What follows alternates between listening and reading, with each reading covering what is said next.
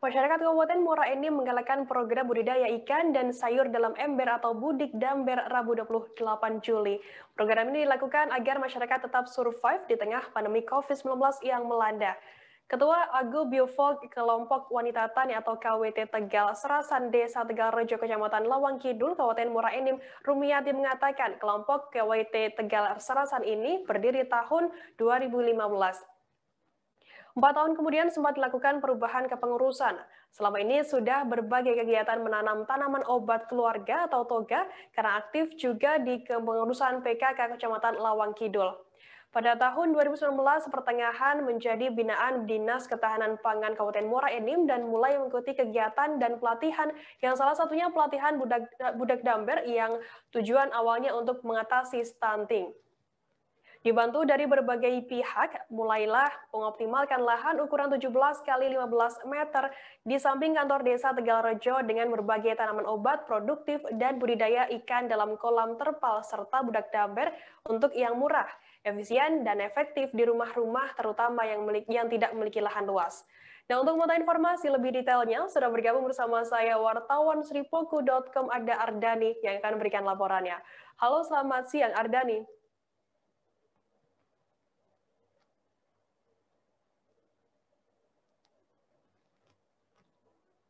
Halo, Ardani, selamat siang. Halo, Oke. masuk, masuk. Ardani, bisa dijelaskan sejak kapan dan bagaimana prosesnya program budidaya ikan dan sayur dalam ember ini di Kabupaten Muara ini sana? Baik, ini pemirsa, saya jelaskan. Ibu Rumiyati ini sebelumnya aktif di PKK Long Kidul dan dia dan dia juga sebelumnya menanam toga, ibu ini pada tahun 2019 ada program dari Dinas Dinas Tanaman Pangan Muara Enim menawarkan program Budik Damber yaitu menyediakan pangan hewani dan sayuran di dalam ember. Nah, dari dari sinilah mulai dilakukan secara intensif dengan dibina oleh Pemda dan stakeholder bekerjasama dengan stakeholder perusahaan yang ada di Muara Enim mulai melakukan budik damber. Awalnya eh, anggotanya sedikit, hanya belasan. Tetapi saat ini telah puluhan. Karena mereka tertarik dengan budik damber ini. Karena telah memberikan efek yang positif untuk keluarga mereka dalam hal pemenuhan pangan. Hmm. Itu. Oke. Arden bisa dijelaskan apa sebenarnya manfaat uh, setelah mereka melakukan budik damber ini? Ya, baiklah. Manfaatnya cukup banyak sebenarnya. Burik Damer ini selain menyediakan pangan keluarga dengan protein hewani dan sayuran dan kondisi sehat dan segar, mereka juga bisa menjaga lingkungan karena kelompok tani ini akan memanfaatkan barang-barang bekas seperti ember-ember bekas, bekas cat atau gelas-gelas bekas yang dibuang oleh masyarakat sehingga bisa sekalian membersihkan lingkungan. Itu. Oke, bagaimana untuk pemasarannya sendiri seperti apa informasinya? Nah, untuk pemasaran mereka sangat mudah. Karena selain mereka sudah ada langganan pecel lele, pedagang pecel lele, selain ada langganan, mereka juga selain mengkonsumsi sendiri, telah mempunyai pelanggan tersendiri. Mm-hmm. Ya ini dengan memasarkan melalui sosmed.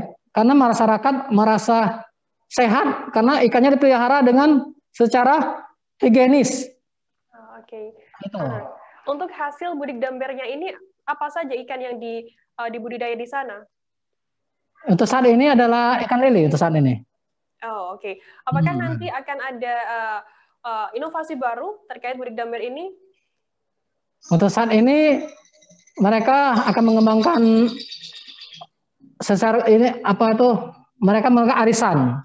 Jadi anggota yang tidak ada modal mereka bisa membantu dengan secara arisan.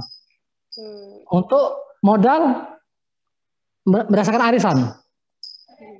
Ya, baik. Tribuners, tadi jurnalis kami juga sempat hmm. melakukan wawancara dengan Kadis P3A Kabupaten Muara Enim, Vivi Mariani Alak, dan kemudian Kasih Sumber Daya Pangan Dinas Tanaman Pangan Kabupaten Muara Enim, dan berikut liputannya untuk Anda.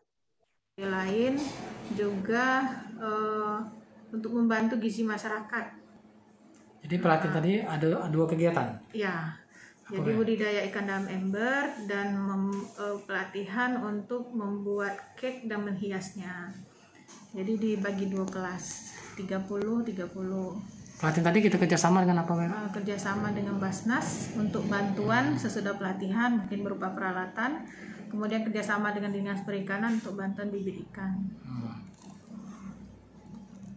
Sasaran peserta uh, kami minta dari uh, orang-orang uh, yang memang sangat membutuhkan berupa uh, ada sebagian mereka mualaf, ada sebagian itu memang yang memang ibu-ibu rumah tangga yang uh, membutuhkan untuk menambah perekonomian keluarga. Nanti pelatihan mereka dia milih yang mana mereka mau berminat. Pelatihan ini dengan masa pandemi sekarang? Sinkron sekali. Aduh. Sinkron sekali. Jadi itu bisa dilakukan di rumah masing-masing. Mudah-mudahan uh, ke depan ada yang berhasil bisa ditingkatkan bantuannya berupa apa uh, yang lebih bisa berkembang. Apa harapan kita ke depan? Harapan ke depan itu sebenarnya uh, nanti akan kami evaluasi pelatihan ini.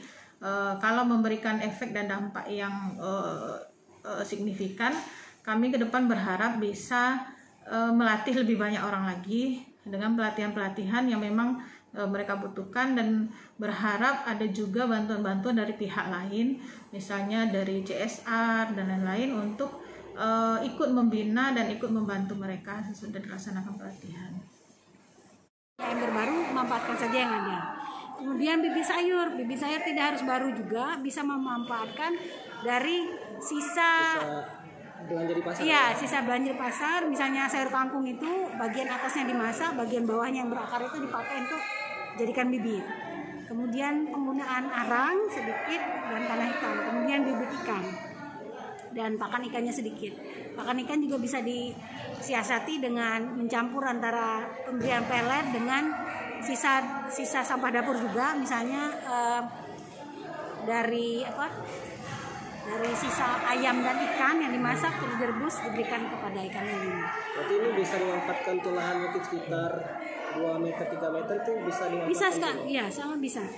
Kalau misalnya lahannya juga tidak tidak memungkinkan, sementara embernya mau dipasang banyak bisa dibikin rak rak kayu jadi di tingkat ya, ya di tingkat solusinya ya solusi. berarti ini sangat uh, menjadi solusi untuk di masa pandemi ini ya Benar. karena masyarakat diharuskan untuk berada di rumah. Iya. Sementara di rumah itu harusnya ada kegiatan yang produktif. Iya pertama harus ada kegiatan yang membangkitkan apa rasa bahagia biar biar imunnya naik. Karena itu kan memelihara ya memelihara sesuatu itu menimbulkan kebahagiaan.